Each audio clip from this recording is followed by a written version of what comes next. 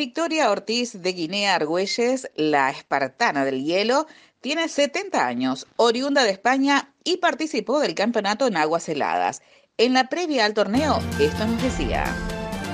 Bueno, pasarlo bien, sobre todo, nadar. Pues, espero competir en todas las pruebas. Y como bien el año pasado lo pasé también, pues este año volví. Contanos, ¿cuánto hace que nadás en aguas heladas? En aguas heladas sobre ocho años aproximadamente. ¿Siempre nadaste en aguas heladas? Nadé en aguas frías desde pequeña. Sabemos que la temperatura tiene que llegar a 7 grados aproximadamente. Eh, eso es lo ideal según lo que nos comentaban. ¿Nadaste en esa temperatura, en temperaturas más bajas? No, yo siempre competí en temperaturas mucho más bajas.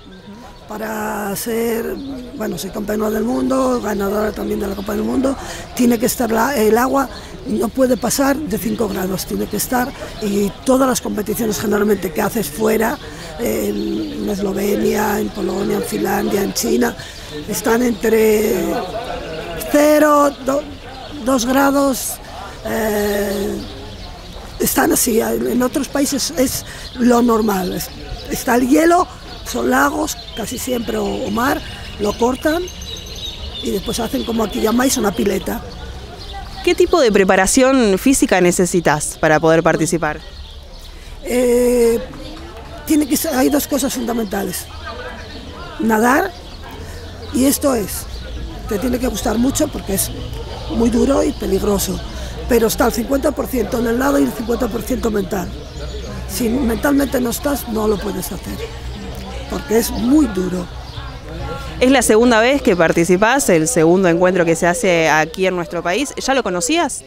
No, mm, yo conocía casi todo el mundo esquiable, porque esquiaba antes, pero me faltaba siempre Argentina, porque cuando allí es verano, aquí es invierno, y me faltaba, y mira por dónde fui a conocerlo, en vez de esquiando en, Aguas. Nosotros acá en Cañada de Gómez está Joaquina Dalmazo, eh, con mucha experiencia. Eh, ¿La conociste? Sí, sí. Primero que estoy en su casa y segundo que tenéis una, una campeona y una, pero un diamante que lo tenéis que cuidar mucho. Bien, Joaquina, yo ya lo, ya lo dije el año pasado, va a ser la bomba, ya es la bomba, pero va a ser la bomba. Porque aún está todavía, y es que es... Tiene mucho futuro. Muchísimo, muchísimo. Yo ya el año pasado cuando la vi, ya se, ya se lo dije a sus padres y demás. Y, y al club les dije mirar por ella, cuidarla que tenéis aquí. ¿En cuántas categorías va a competir? En todas. En todas.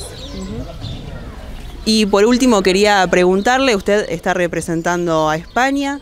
Sí, yo represento a España porque vivo en España, pero eh, a la vez represento a España y represento a Rusia. Tengo doble nacionalidad.